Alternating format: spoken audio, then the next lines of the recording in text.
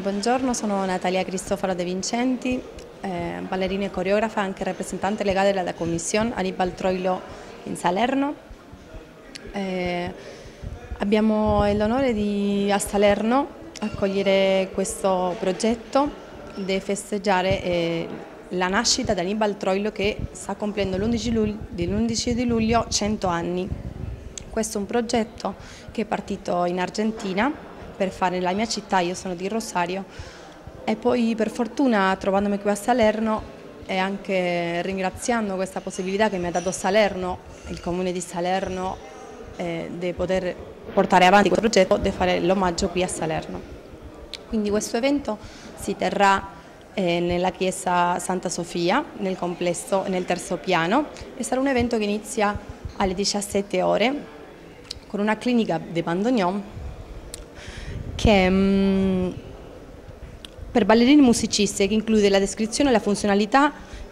la meccanica del bandoneon. Gli artisti della decada del 40, concentrandosi nello stile di Annibal Troilo, diciamo l'apporto di Annibal Troilo al tango, gli stili della decada del, del 40, l'aspetto ritmico, confronto tra i bandoneonisti e direttori d'orchestra, fraseggio, musicalità, principali compositori ed esecuzioni, caratteristiche, influenze e applicazione al ballo di tango sociale. La clinica sarà teorico-pratica con proiezione in modo che questa tecnica si terrà col maestro anche ballerino che è di Rosario per la vita a Roma, Mariano Navone. Poi continua alle ore 19 con un audiovisivo sulla vita di Anibal Troilo e alle 20 inizia la serata eh, per ballare dove suonerà un'orchestra dal vivo che si chiama Cacivace Tango che sono anche argentini. E poi verranno due DJ a mettere musica, una mh, di queste ragazze è una ragazza di Napoli che si chiama La Nena Radice e l'altra ragazza è di Roma che si chiama Elisabetta Guaglianone. E poi balleremo fino alle 12 ovviamente, si offrirà un buffet per gli invitati e soprattutto è importante perché è un momento di condividere un po' tutti insieme chi, sono, chi siamo queste persone della campagna che, che balliamo il tango, che ci piace questo, anche voleva mettere importanza che è un'attività che ha l'appoggio anche di tutte le associazioni di tango di campagna, sono 17 associazioni che stanno appoggiando questa attività, ehm, è anche patrocinato per il comune di Rosario che è la mia città, per l'emissora di radio La Dosport 4,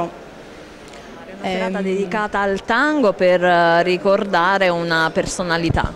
Ma una bella iniziativa che coinvolge una ventina di associazioni di tango amatori di tango non soltanto della nostra città ma anche della nostra provincia. Abbiamo come comune colto questa occasione, questa opportunità che ci veniva proposta dal rappresentante legale di questo centenario, di questo organismo che è stato fatto per ricordare Annibal Troilo nel mondo che è una delle figure dei compositori musicali più importanti del tango e per gli amanti del tango è figura nota. Quindi è un'altra occasione che noi ti ospitiamo a Salerno domenica 11 maggio all'interno del complesso di Santa Sofia per attirare appassionati di tango, soprattutto per fare iniziative e per arricchire il nostro programma di eventi che anche a maggio sarà sicuramente cospicuo tutte iniziative che ci accompagnano alla stagione estiva. Ma sicuramente l'obiettivo dell'amministrazione De Luca, noi lo abbiamo detto da tempo, è quella di tenere senza soluzione di continuità eventi nella nostra città per tanto tempo e per tutti i weekend. Ci stiamo riuscendo nonostante la crisi, stiamo avendo dei risultati anche significativi in termini di ricaduta turistica. Maggio è il mese dei monumenti, è il mese dei beni culturali, è il mese anche di Salerno Porte Aperte che terremo alla fine di maggio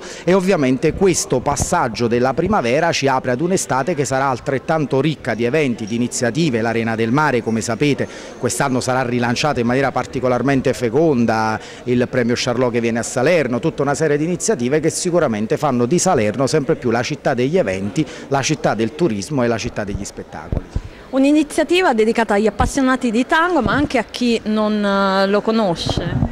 Eh, certo, è un'iniziativa per, diciamo, per la città, per tutte le persone che